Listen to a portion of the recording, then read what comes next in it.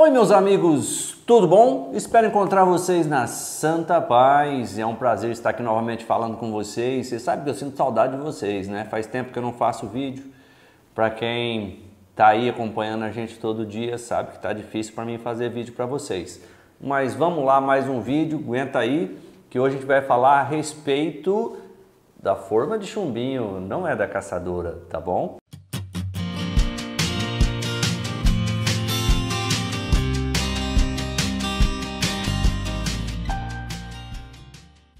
Oi, meus amigos. Então, hoje vou falar a respeito da forma de chumbinho, tá? É um projeto que a gente já vem tocando há algum tempo e graças a Deus está pronto, já está disponível aí a pronta entrega para quem desejar.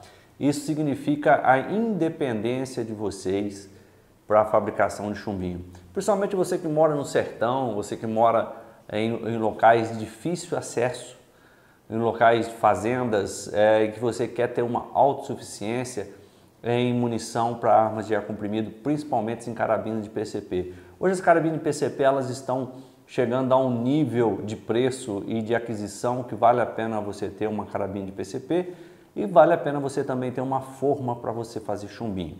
A nossa forma de fazer chumbinho é apenas isso daqui. Olha só, tá aqui, é muito simples, tá? Tá aqui a forminha de fazer chumbinho, é muito simples mesmo, tá? E vocês podem usar do, do modo tradicional, que é martelando, usando o martelo, e vocês também podem utilizar do novo modo que é utilizando a prensa, tá? A prensa é um modo mais rápido e mais fácil de você fazer chumbo e ela é portátil e não é cara. Você encontra essa prensa aí em torno de 100 a 150 reais, frete grátis aí para toda a região, tá? Isso aqui é a forma propriamente dita. Esse aqui que vai dar o formato do chumbo. Essa forma tem várias pontas. Essa ponta faz a ponta redonda, tem a ponta que faz ponta oca e a partir do momento que você tem essas duas formas, você consegue fazer uma variedade de pesos muito grandes de chumbo. Você pode começar desde, desde o de 1 grama até 3 gramas. Isso mesmo, você pode chegar até 3, 3 gramas exatamente. Uma coisa que eu quero deixar claro para vocês é o seguinte: não é que você vai fazer o melhor chumbo do mundo, não, tá? Não é o melhor chumbo do mundo, mas é o melhor chumbo que você consegue fazer em sua casa sem qualquer tipo de esforço, tá? Você consegue produzir na grande quantidade desde que você tenha paciência de fazer. Quanto mais paciência você tem para fazer, melhores saem os seus chumbos. Com mais qualidade saem os seus chumbos, tá bom? Isso é muito legal de falar. A forma é de exatamente 5.5 milímetros, tá? É exato, não tenha dúvida disso, porque todos eles são calibrados aqui antes de ser enviado, tá? Vamos falar um pouquinho mais a respeito. É, vou passar algumas dicas aqui para vocês a respeito do chumbo utilizado. O chumbo utilizado você pode usar aquele chumbo prego. Tem um chumbo prego, que é um chumbo que você compra para colocar na tarrafa. Tem alguns chumbos que são de 5 milímetros, 5.5 ou de 6 milímetros. É, é, o ideal? Não, não é o ideal, tá? Não é o ideal. Inclusive eu fiz com, esse, com esses chumbos porque não tinha outro no momento. Não são os ideais. O ideal é o chumbo, é, fio de chumbo ou chumbo extrusado porque ele tem 5 milímetros de fora a fora, tá? Ele tem meio milímetro a menos do que a forma. Então, quando você corta certinho o chumbo e coloca na forma, ele vai expandir, ele vai dilatar esse chumbo e vai deixar o chumbo perfeito, tá? Então, primeira dica fica para vocês aqui, evitem usar chumbo prego, não é o ideal. Caso você não tenha outra alternativa, pode usar, tá? Mas o ideal é o fio de chumbo ou chumbo extrusado de 5 milímetros, ok? Um outro detalhe que é bom frisar para vocês antes de começar qualquer coisa, que você precisa ter as ferramentas certas para diminuir o seu trabalho. Vamos lá? Uma das ferramentas ideais para você fazer isso é esse alicate, é um alicate de corte, um alicate de poda mesmo, que tem um limitador aqui, que você consegue regular o tamanho do chumbo que você vai cortar. Isso é muito importante, porque quanto mais exato o tamanho do chumbo que você corta, menos trabalho de arremate você tem, menos dor de cabeça você tem para deixar os seus chumbos prontos. Então, ele já vem com uma plaquetinha aqui que você pode ajustar desde os 28 grains até o 46 grains, tá? Quanto mais perfeito você fizer o corte do chumbo, mais perfeito fica seu chumbo. Outra coisa também que é muito importante é uma espátula de corte. A espátula ela tem que ser a mais afiada possível para que você tenha menor dor de cabeça na hora de cortar o seu chumbo. Então, ela é afiada apenas de um lado com a lima, depois você faz o polimento dela na lixa e depois faz um pequeno acabamento aqui desse lado. Por quê? Quanto mais afiado tiver a sua espátula, mais fácil cortar o chumbo, a saia do chumbo. Essa aqui é uma prensa, uma prensa de ilhóis, é uma prensa que o pessoal usa para prender botão, é de apenas 100 kg, não precisa mais que isso. E a forma foi feito exatamente para essa prensa, tá? Então isso é muito importante, porque não serve em outra prensa, a não ser nessa. Aqui eu coloquei um pedacinho de toco aqui, um pedacinho de madeira, porque na hora que você cortar o chumbo, bate no toco, ó, sem perder o fio da espátula. Então, são as ferramentas essenciais que você precisa ter para você fazer o seu chumbo. Nós fornecemos a forma, porém você precisa de um alicate para cortar o chumbo exatamente na medida que você quer, uma espátula bem afiada para você poder cortar a saia do seu chumbo e a prensa para você não ter dor de cabeça e grandes esforços. Fazer chumbinho é uma terapia, é uma coisa que você senta, faz tranquilamente e essa forminha aqui, em especial, você consegue fazer três modelos de chumbo, tá? O cabeça redonda, o cabeça oca e o cabeça esfera de aço. Fica lindo, fica lindo, lindo, lindo, lindo, lindo. Para você determinar o tamanho e o comprimento que você precisa fazer esse chumbo, existe um pequeno calço que você coloca aqui dentro. Isso aqui, a forminha, tem um tamanho, tá? Você vai pegar um prego. Olha aqui, tá vendo um prego? Esse prego aqui eu já comecei a cortar. Esse prego é exatamente 5,5 milímetros. E você vai cortar ele em pequenos pedacinhos Aqui eu já até cortei, tem um aqui.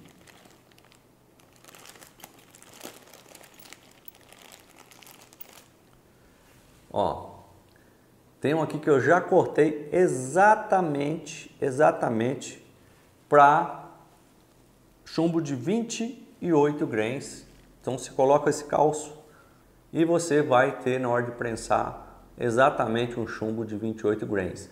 Se você quer um chumbo mais pesado, você deixa o calço menor. E se você quer um chumbo mais leve, você deixa o calço maior, tá?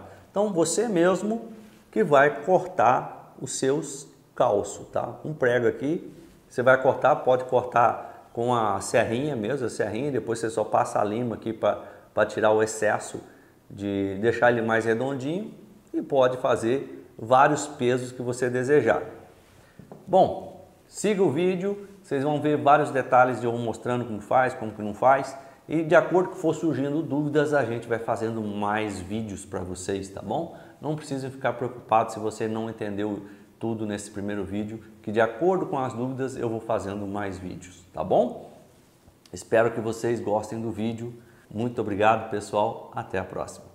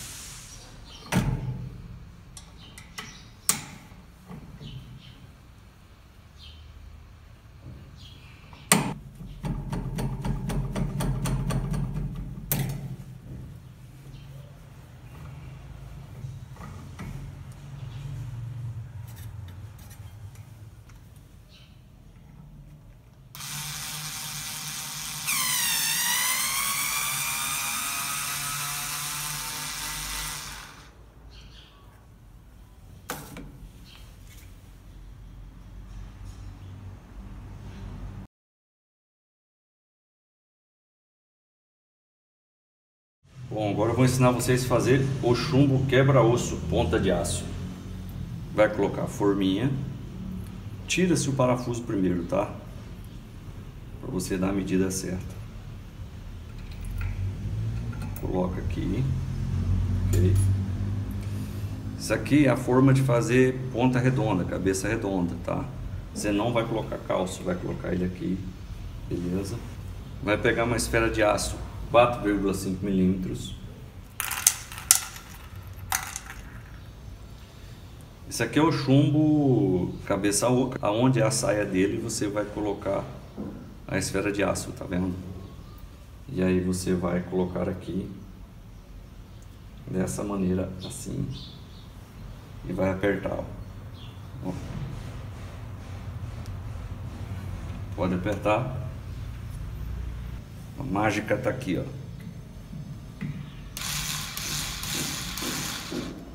Coloca o dedão aqui, segura, ó.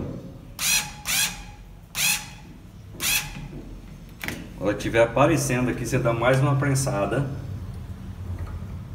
e corta. Ó. Ok? Aí agora é só retirar.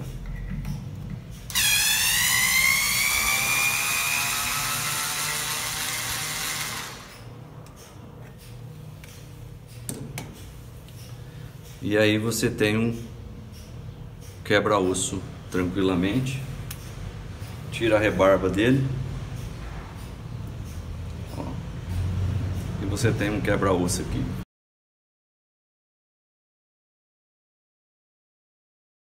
Se deixar ele mais padrão ainda, vamos passar ele no calibrador. Ó.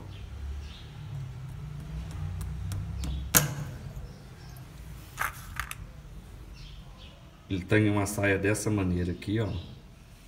Ele lembra muito o JSB Monster. Coloca aqui, você vai ver que ele entra aqui, mas a saia não entra. Lá, tá vendo? Então vamos calibrar a saia.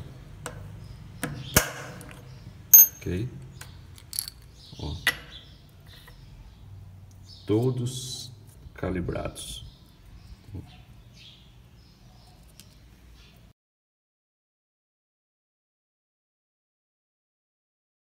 Bom, esses são os modelos que você consegue fazer a partir de chumbo, tá? Vou mostrar depois fazer mais dois modelos que são diferentes. Mas vamos aqui pesar seis unidades, porque não tem seis unidades, que vocês vão ver que são muito parecidas as medidas. 1.96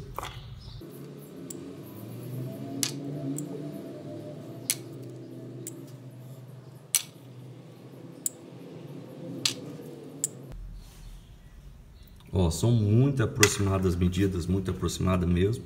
Vamos ver agora este daqui, que é um dos chumbos de cabeça oca. 2.3.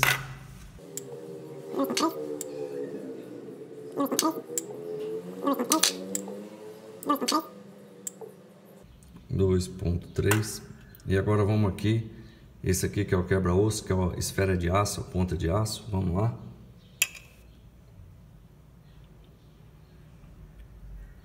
dois ponto cinco.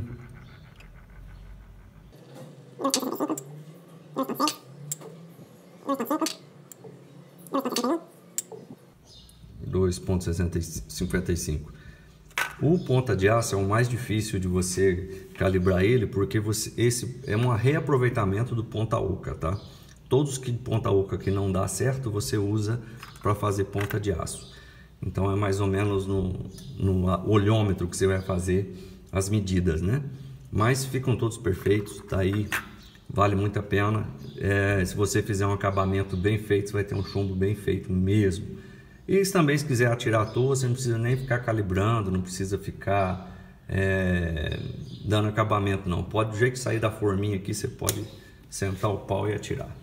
É isso aí, meus amigos. Muito obrigado. Até a próxima.